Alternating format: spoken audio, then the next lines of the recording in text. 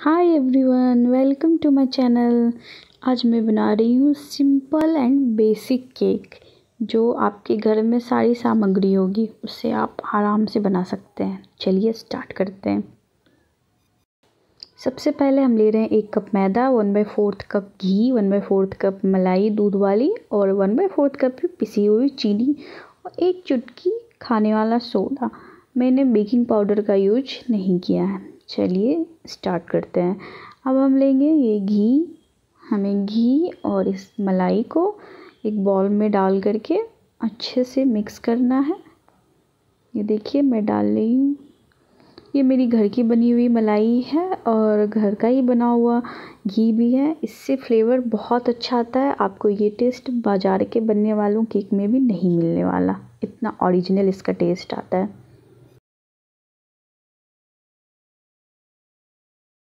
मैं इसे एकदम अच्छे से मिक्स करने वाली हूँ। ये देखिए, कुछ देर के बाद ये ऐसा हो गया। अब मैं इसमें डाली हूँगी अपनी पिसी हुई चीनी। मैं चीनी, मीठा कम खाती हूँ, इसलिए मैं कम चीनी डाल रही हूँ। और वो भी एक कप मैदा में, मेरा इतना चीनी है। आप अपने हिसाब से मैदे, चीनी और सब कुछ की क्वांटिटी बढ़ा करके ज़्यादा बना सकते हैं। देखिए, कुछ देर के मिलाने के बाद ये इस तरह से हो जाएगा।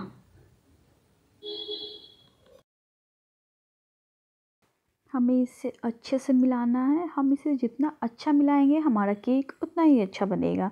अब मैं ले रही हूँ अपना एक कप मैदा। हमें इसे अच्छे से छान लेना है ताकि इसमें को ज़रा सा भी लम्ब्स बचा हुआ नहीं रहे, वरना वो हमारा केक ख़राब कर सकता है। और इसी में मैं डालने वाली हूँ अपना बेकिंग सोडा। मैंने बेकिंग पाउडर का इस्तेमाल नहीं किया है। और हमें इसे अच्छे से छान लेना है। ये देखिए ओ शिट मैंने गंदा कर दिया। मुझे बड़े बर्तन में करना चाहिए था। आप ये बेवकूफ़ी नहीं करें, अच्छे से करें प्लीज़ कोई नहीं किचन में काम करते वक्त ऐसी छोटी मोटे, छोटी मोटी चीज़ें होती रहती हैं। थोड़ा साफ़ और गंदा तो चलता रहता है। अब हम इसमें धीरे धीरे करके अपने हाफ़ बने हुए बैटर में मैदा ऐड करेंगे। एक बार में पूरा मैदा ऐड करने की गलती बिल्कुल भी नहीं करें। आपको ध्यान रखना है कि आपको इसमें धीरे धीरे करके मैदा ऐड करना है। ये देखिए अगर आप भी उन लोगों में से हैं जिन्हें बाहर के केक की क्रीम पसंद नहीं आती तो आप इस तरह से केक ज़रूर बना के एक बार खाइए। आपको बहुत अच्छा लगने वाला है। मैं इसमें अपना एक कप मैदा ऐड कर दूँगी। आपको देख के ज़रूर लग रहा होगा अरे, ये तो बहुत ज़्यादा हो गया है। पर ऐसा बिल्कुल नहीं है। ये मिल कर के बहुत अच्छा होने वाला है। हमें इसे अच्छे से मिलाना है। फिर भी ये थोड़ा थिक रहेगा। ये देखिए हाँ ये, इतना ये थिक रहेगा। हम इसे क्या करेंगे? हम इसमें दूध डाल करके अपने बैटर की कंसिस्टेंसी के हिसाब से कर लेंगे। मैंने ये मलाई वाला दूध लिया है, ये भी वन बाई फोर्थ कप है। आप ज़्यादा मात्रा में केक बना रहे हैं, उसकी इंग्रेडिएंट को बढ़ा करके सेम प्रोसेस फॉलो करके बना सकते हैं। ये देखिए, अब हमें इसे अच्छे से मिलाना है। एकदम अच्छा और स्मूथ पेस्ट बनाना है, इसमें कोई भी लम्ब्स नहीं रहना चाहिए, तभी हमारा केक अच्छा और स्पंजी बनेगा। मैं इसमें रोज़ वाटर ऐड कर रही हूँ।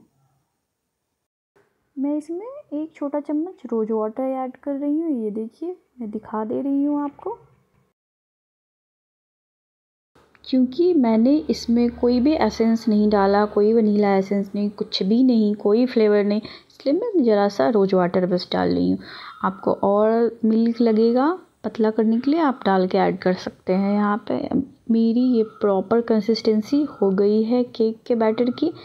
अब हम चलते हैं इसको बेक करने के प्रोसेस में। ये देखिए, मैंने लिया है कुकर मैं ओवन में नहीं बना रही इसे। इसमें मैं डालूँगी घी और इसे अच्छे से चारों साइड ये लगा दूँगी।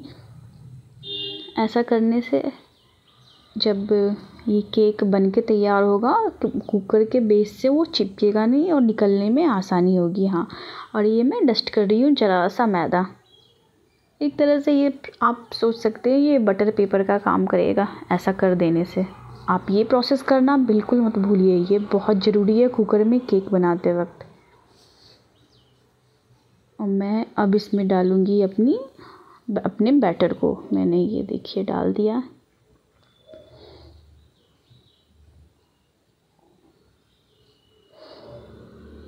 और जब एक और बात जब केक बन जाए तो उसे गर्म निकालने की बिल्कुल कोशिश नहीं करें। कुकर को ठंडा होने दें, फिर वो खुद ब खुद निकल जाएगा। देखिए, मैंने इसे प्रॉपर एक जैसे बेस में कर लिया है, इसे अच्छे से करके।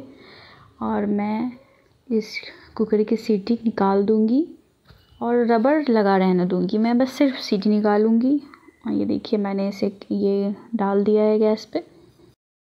आप लो फ्लेम पे उसे पकने दें और ये आफ्टर फोर्टी मिनट ये देखिए केक का प्रॉपर वे और इसका चारों साइड का किनारा देखिए, ये खुद कुकर से साइड होके निकल गया मैं दिखाती हूँ ये प्रॉपर पका है कि नहीं।